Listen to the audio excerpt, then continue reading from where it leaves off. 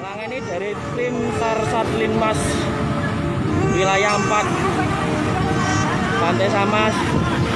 Pantai Baru